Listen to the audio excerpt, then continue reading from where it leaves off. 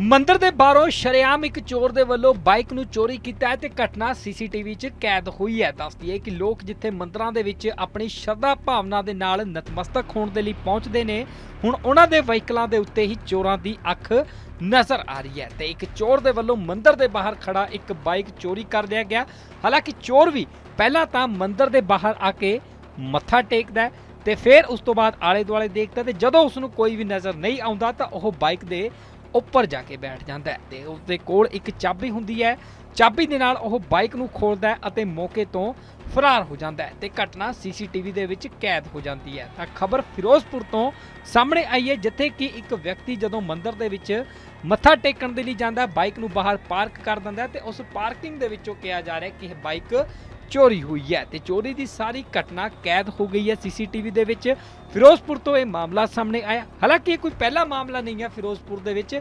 ਲਗਾਤਾਰ ਚੋਰੀ ਦੀਆਂ ਵਾਰਦਾਤਾਂ ਵੱਧ ਰਹੀਆਂ ਨੇ। ਕਦੇ ਕੋਈ ਐਕਟਿਵਾ ਚੋਰੀ ਹੋ ਰਹੀ ਹੈ ਤੇ ਕਦੇ ਕੋਈ ਬਾਈਕ ਚੋਰੀ ਹੋ ਰਿਹਾ। ਲੋਕ ਇਸ ਤੋਂ ਪਰੇਸ਼ਾਨ ਨੇ।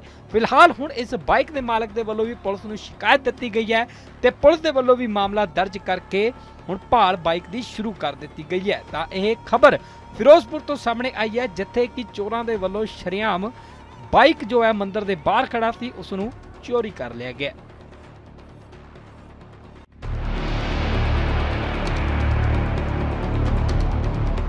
ਮੰਦਰ ਦੇ ਬਾਹਰੋਂ ਸ਼ਰੇਆਮ ਇੱਕ ਚੋਰ ਦੇ ਵੱਲੋਂ ਬਾਈਕ ਨੂੰ ਚੋਰੀ ਕੀਤਾ ਹੈ ਤੇ ਘਟਨਾ ਸੀਸੀਟੀਵੀ 'ਚ ਕੈਦ ਹੋਈ ਹੈ। ਦੱਸਦੀ ਹੈ ਕਿ ਲੋਕ ਜਿੱਥੇ ਮੰਦਰਾਂ ਦੇ ਵਿੱਚ ਆਪਣੀ ਸ਼ਰਧਾ ਭਾਵਨਾ ਦੇ ਨਾਲ ਨਤਮਸਤਕ ਹੋਣ ਦੇ ਲਈ ਪਹੁੰਚਦੇ ਨੇ, ਹੁਣ ਉਹਨਾਂ ਦੇ ਵਹੀਕਲਾਂ ਦੇ ਉੱਤੇ ਹੀ ਚੋਰਾਂ ਦੀ ਅੱਖ ਨਜ਼ਰ ਆ ਰਹੀ ਹੈ ਤੇ ਇੱਕ ਚੋਰ ਦੇ ਵੱਲੋਂ ਮੰਦਰ ਦੇ ਬਾਹਰ ਖੜਾ ਇੱਕ ਬਾਈਕ ਚੋਰੀ ਕਰ ਲਿਆ ਗਿਆ।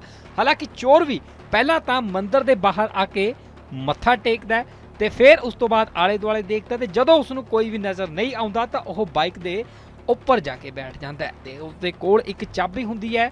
ਚਾਬੀ ਦੇ ਨਾਲ ਉਹ ਬਾਈਕ ਨੂੰ ਖੋਲਦਾ ਹੈ ਅਤੇ ਮੌਕੇ ਤੋਂ ਫਰਾਰ ਹੋ ਜਾਂਦਾ ਹੈ ਤੇ ਘਟਨਾ ਸੀਸੀਟੀਵੀ ਦੇ ਵਿੱਚ ਕੈਦ ਹੋ ਜਾਂਦੀ ਹੈ। ਤਾਂ ਖਬਰ ਫਿਰੋਜ਼ਪੁਰ ਤੋਂ ਸਾਹਮਣੇ ਆਈ ਹੈ, ਜਿੱਥੇ ਕਿ ਇੱਕ ਵਿਅਕਤੀ ਜਦੋਂ ਮੰਦਿਰ ਦੇ ਵਿੱਚ ਮੱਥਾ ਟੇਕਣ ਦੇ ਲਈ ਜਾਂਦਾ ਬਾਈਕ ਨੂੰ ਬਾਹਰ ਪਾਰਕ ਕਰ ਦਿੰਦਾ ਹੈ ਤੇ ਉਸ ਪਾਰਕਿੰਗ ਦੇ ਵਿੱਚੋਂ ਕਿਹਾ ਜਾ ਰਿਹਾ ਕਿ ਇਹ ਬਾਈਕ ਚੋਰੀ ਹੋਈ ਹੈ ਤੇ ਚੋਰੀ ਦੀ ਸਾਰੀ ਘਟਨਾ ਕੈਦ ਹੋ ਗਈ ਹੈ ਸੀਸੀਟੀਵੀ ਦੇ ਵਿੱਚ।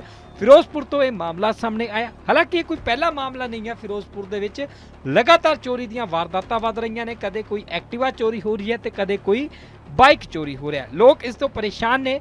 ਫਿਲਹਾਲ ਹੁਣ ਇਸ ਬਾਈਕ ਦੇ ਮਾਲਕ ਦੇ ਵੱਲੋਂ ਵੀ ਪੁਲਿਸ ਨੂੰ ਸ਼ਿਕਾਇਤ ਦਿੱਤੀ ਗਈ ਹੈ ਤੇ ਪੁਲਿਸ ਦੇ ਵੱਲੋਂ ਵੀ ਮਾਮਲਾ ਦਰਜ ਕਰਕੇ ਹੁਣ ਭਾਲ ਬਾਈਕ ਦੀ ਸ਼ੁਰੂ ਕਰ ਦਿੱਤੀ ਗਈ ਹੈ। ਤਾਂ ਇਹ ਖਬਰ ਫਿਰੋਜ਼ਪੁਰ ਤੋਂ ਸਾਹਮਣੇ ਆਈ ਹੈ, ਜਿੱਥੇ ਕਿ ਚੋਰਾਂ ਦੇ ਵੱਲੋਂ ਸ਼ਰੇਆਮ ਬਾਈਕ ਜੋ ਹੈ ਮੰਦਰ ਦੇ ਬਾਹਰ ਖੜਾ ਸੀ ਉਸ ਨੂੰ ਚੋਰੀ ਕਰ ਲਿਆ ਗਿਆ